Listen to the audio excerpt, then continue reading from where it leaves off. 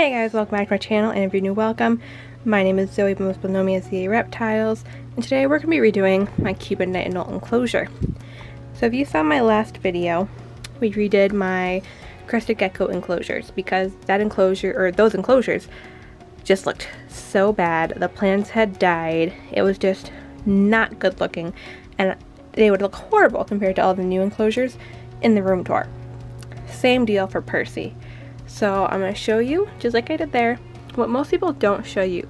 And that's the after effects of an animal living in an enclosure and destroying it. Because Percy's does not look very good anymore. So no judging, because we're going to clean it up. But here is his current enclosure. So it used to be full of live plants. Now it's full of fake plants because the live plants have died, they got trampled, they just couldn't stay alive.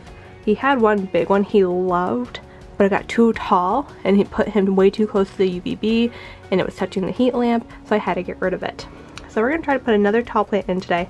The other reason I wanna redo this, I redid this enclosure at the beginning of 2020 and made it bioactive. We have these, um, I forget what these are called, but they're like cloth planters, or they're chameleon bins, or something like that, chameleon pots, I don't remember. But they're for chameleon enclosures, like these screen enclosures so you can turn them bioactive and plant stuff in them. They work great. My problem with it is it is so tall that it takes up so much of the vertical space. So I lose so much space in this enclosure for him using this. So we're taking this out today, we're getting rid of it. We're just going back old school, putting pots in. So it's easy to clean. So there's Percy Right there, you can see his butt, there's his head. So we're gonna try to trick him into coming out today so that we can redo this. I'm gonna see if I can move this out on my own. It is very, very heavy. So we'll see what happens. All right, Percy, let's move some of this stuff out of the way so I can see you. I can hear you running already. Hi, Percy. Hi, cute boy. Usually I have a toilet, or not toilet paper tube, but a paper towel tube that I can get them to run onto. But I don't think I have one at this moment. Oh, there's literally one by my foot. Okay, let's see what we can do. Here, buddy. Oh, yep, and he just went back into the corner. So I guess for starts, we'll just keep pulling everything out.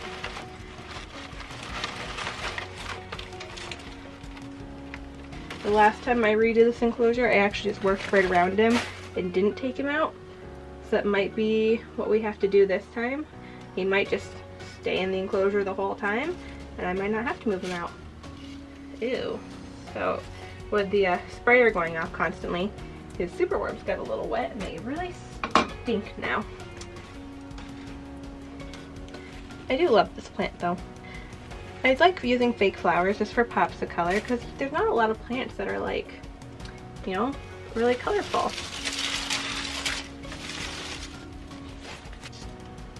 You know, I think my big issue with getting bit by reptiles is that they bite and hold on. They don't bite and let go, like at least lizards anyway. Because I've been bit, who have I been bit by? I think Muppet might be the only animal I've, or only lizard I've really been bit by. And she was in feeding mode. It wasn't aggressive, it was a feeding thing. And she didn't let go, and that was painful. The other animal I've been bit by was a wood turtle. Again, didn't let go, super painful. Um, so I know if Percy bit me, he wouldn't let go. And they have very, very good bites and I was totally okay not having to experience that. You know, he's a good boy. He's great out of his enclosure. But where he used to be a scaredy cat in his enclosure, now he's defensive in his enclosure. He used to just run around and sometimes I could just stick my hand under him and he'd run out onto my arm without realizing he's doing it. Um, yeah, not anymore. Now he will try to fight back. Alright, let's see if I can move all this all this out of here. So, wow, I actually have a snake plant in here still alive. Sweet. Everything else is dead. But we'll pull that snake plant out and we'll save it. I'll use it somewhere, probably not in this enclosure, but I'll use it somewhere. Look at that, still alive. Alright, so the hard part is going to be pulling this out of here. It is very heavy. I'm up on a step ladder. I've got enclosures behind me, so trying to get out of here and maneuvering it is going to be quite interesting. But let's see what we can do. So apparently he has a poop corner and it's missing the bin. So something for bioactive because it's literally landing not in the bin with the dirt. Okay. Time to find some muscles, I guess. Oh, this isn't that bad. Since the dirt's all dry, it's quite light. No wonder my plants died. Oh my god, that's not heavy at all. Come here.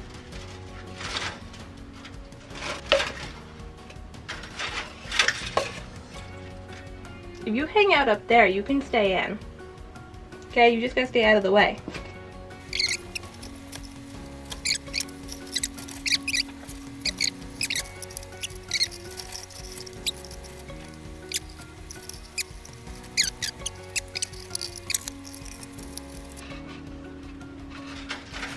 Yeah.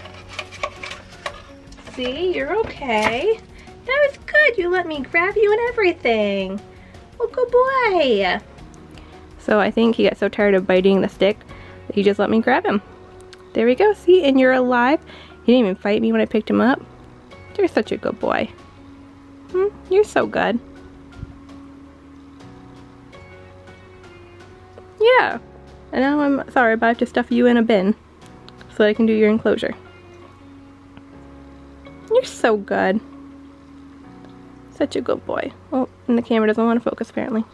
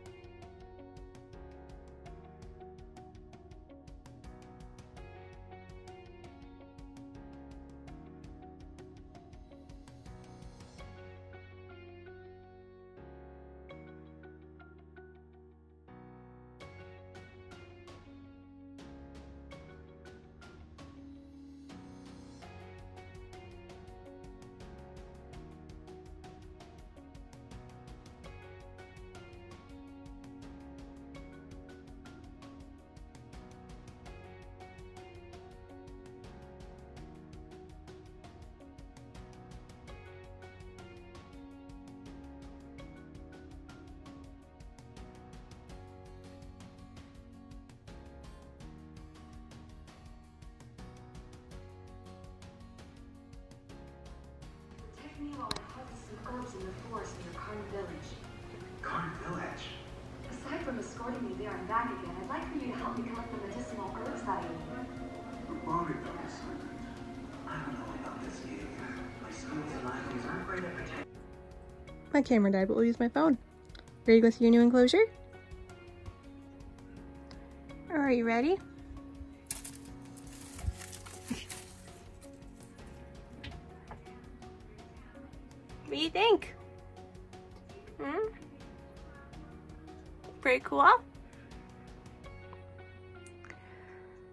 He has plans as well for a custom build once I have more space after I move. So this is a not permanent, not end goal enclosure. I do have plans for another one for him that is much bigger. What do you think? Nice and toasty under those lights, huh? Alright guys, so that is it for today's video. Thank you guys so much for joining me. Be sure to let me know what you think in the comments below. And don't forget to hit that subscribe button so you don't miss the upcoming room tour. See you guys later. Bye.